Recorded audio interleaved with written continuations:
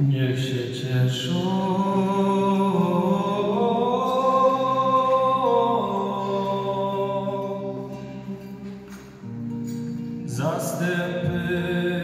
Niech Pan obdarzy Was spokojem.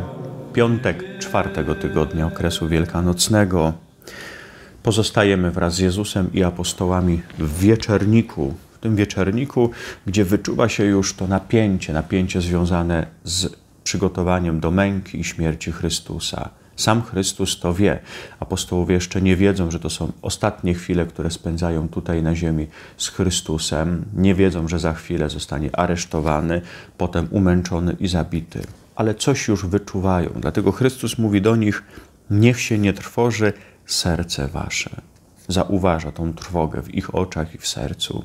Tu, kiedy myślimy o trwodze, to gdzieś przychodzi na myśl to nasze polskie przysłowie, które mówi: Jak trwoga, to do Boga. Kiedyś złościłem się na to przysłowie, że właśnie wielu ludzi tak reaguje. Żyją jakby Boga nie było, żyją jakby nie byli wierzący, ale kiedy przychodzi jakaś trudność, choroba, śmierć, jakieś inne poważne problemy, wtedy nagle o Bogu sobie przypominają. Ale dzisiaj patrzę na to, że chociaż faktycznie wydaje się, że wcześniej mogliby już zwrócić się do Boga, no to w takim trudnym momencie do kogo mają pójść? Właśnie do tego, który mówi dzisiaj: Niech się nie trwoży serce wasze. Do tego, który chce dzisiaj ich zaprosić i powiedzieć: Widzę ten trud, widzę to cierpienie, widzę Twój lęk, Twój ból, widzę to przerażenie. Zapraszam Cię do siebie, przyjdź. Ja jestem tym, który może pomóc, który dzisiaj może przynieść ten pokój serca, ten pożądany pokój serca.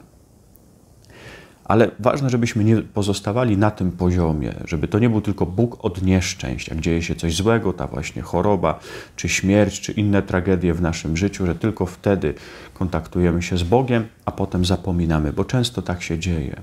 Dobrze jest zostać na zawsze z Panem Bogiem, żeby On był Bogiem całego naszego życia i tych trudnych momentów, które chcemy, aby nam pomógł, i tych radosnych, które chcemy przeżywać razem z Nim w końcu jest drogą, prawdą i życiem. Życiem. Życiem nie tylko właśnie związanym z trudnościami, ale życiem, którym jest wszystko. I te cienie, i blaski, i radości, i smutki. Życie, które jest pełne. I w tej pełności życia Chrystus chce uczestniczyć, chce, żebyśmy Go zaprosili.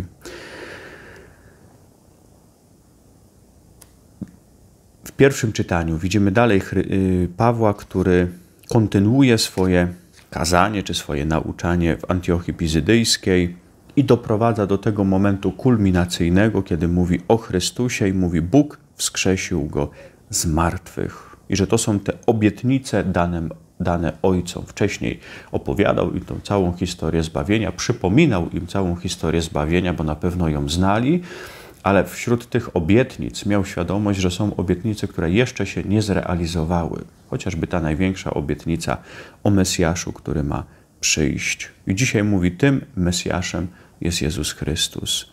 To jest ta dobra nowina, którą my Wam właśnie głosimy o obietnicy danej Ojcom, że Bóg spełnił ją wobec nas jako ich dzieci, wskrzesiwszy Jezusa. Tak też jest napisane w Psalmie drugim: Ty jesteś moim synem, jam Ciebie dziś zrodził. To są te obietnice dane Ojcom, które się wypełniają. To są te słowa, które są u Mojżesza, czyli w prawie, które są u proroków i które są w psalmach. Dziś Paweł nawiązuje do psalmu drugiego. Warto przy tej okazji też pomyśleć o modlitwie psalmami, choć wydaje nam się, że to jest czasami tylko i wyłącznie poezja. To też jest Słowo Boże, w którym znajdują się obietnice, które wypełniają się wszystkie w Jezusie Chrystusie, że te psalmy mówią wprost o Jezusie. Są słowami, które dał nam Bóg, abyśmy w ten sposób zwracali się do Niego. To są słowa, które dał nam Bóg, abyśmy zobaczyli, co obiecał i co jest wypełnione w Jezusie Chrystusie. Na ten dzień dzisiejszy niech przychodzi do nas Słowo Boże, niech się nasze serce nie trwoży. Mamy Chrystusa przy sobie, możemy Go zawołać, możemy Go przywołać, a On dzisiaj będzie tym, który przychodzi na nasze życie, aby być Zbawicielem i być Pocieszycielem. Pan z Wami, niech Was błogosławi Bóg Wszechmogący, Ojciec i Syn i Duch Święty.